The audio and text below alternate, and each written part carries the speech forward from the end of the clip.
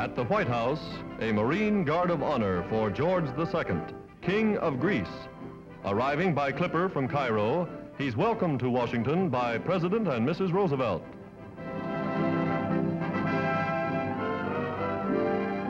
Cabinet members meeting the fighting king fresh from the battlefields of Africa.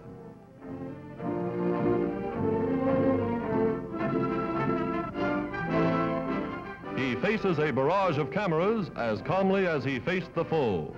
The world will never forget his nation's heroic resistance, nor his majesty's gallant stand. Today, he seeks war supplies for Greek forces still fighting as United Nations allies.